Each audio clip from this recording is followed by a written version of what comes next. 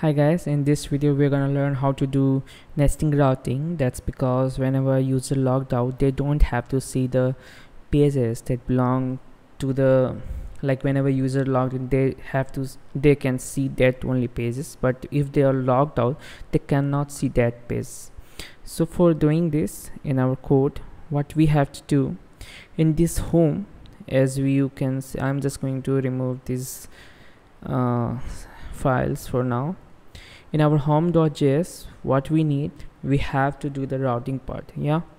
So in here what we can do we use import and just the same thing that we have done in our uh, app part we have to use import these uh, components using uh, from react router DOM so in here what we can do we need header part so that whenever we if I if we use switch also it will be remain it will remain there.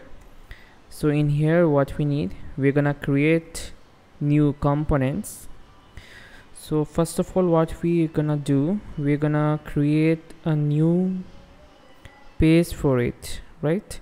In here what we're gonna create we're gonna create uh, sorry for the name convention like I'm just gonna give this new home name.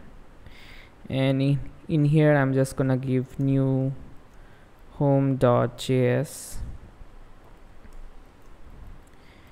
and we are also gonna create a new page for explore 2 so we're gonna just create a new folder and just give explore.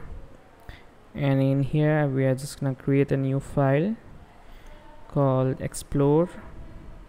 explore.js now in here I'm just gonna create import react from react and also going to export it uh, explore and write explore and it's a functional component for now. Oh it will be this one also. So s2 explore and export it export default. Default explore. Now in again we're gonna just in new home. For now I'm just gonna use it import react from react. And also use this const part. Const new home new home and also return. For now I'm just gonna return this s2 tag new home for now. And also export default new home. So back to our home uh, file what we need. We need route to what we need. In here we need this slash for showing the new home part. And I'm going to use component for now. Or maybe it's only needed maybe here. So I'm going to use new home. And uh, okay sorry this is not two. This is wrong. We need part right? So we need part. And again in here what we need route part is equal to slash explore. And component name explore right?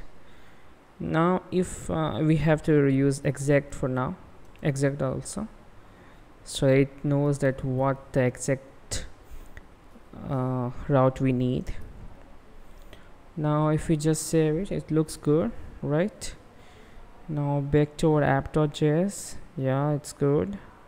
Now if we just go into our code uh, just remove it and use localhost 3000 again. Now if I just go to test at test.com and test it's working right? Now if I just go to this part hmm it's not working so why is that? Well what happens in here in our code that we have given this exact in here right? So what happens when it doesn't get this uh, uh, explore? It will it goes to this 18 number and that's why no match will occur. So for this to remove we need this exact to be removed now after this also there will be a caveats of, of it and we're gonna also remove it. So if I just remove this and go in here and use test at the and you can see this is working. And if I just go in here okay this is also working. That's good. Now there is the time for caveat so what happens? Like if I just write in here this part it will not show the 404 page. And this is what not this is not we need right? Because uh, for this to remove it has to know that the exact part has been like it has been checked and then it's going to be 18 line number but we cannot write here exact for now. So for this to like we have to tackle it. So for this to taking care of we have to like use this this symbol uh, outside. So what we can do if not is log so if it is not logged in so we can use in here route exact part equal to slash render and use this line of code in here. So for now I'm just gonna copy it. And we don't need the whole part in here. I'm just gonna remove this part too.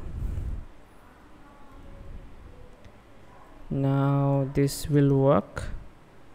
Now if I just now in here I'm just gonna wrap it and use this symbol. And we also need this is two symbol. And in here we can use this part and use it in here. And we have to remove these parts in here. Yeah it's look good yep some in orientation is required in here. Yeah that's it. That's what all we need. Now if I just go to our code in here I'm just gonna remove it and again localhost 3000 now if I just go to any page that is not being used we got the re redirection page. And also if I just test at the rate test.com and use it here. Uh, it's working right? But uh, if we can go in our header.js there is also one thing that I have I have forgotten to use it. There's that is we have to symbolize that what link has been like which link has been taken care of right? So what we can do in here nav link provides some attributes called active class name. It shows that which link is right now active. So basically it's a css you can say. So we're gonna provide the css for this one. And in here i'm just gonna use it. And we have given active class name has a, a class name called active. And just giving border of border bottom of fire break and I'm just gonna save it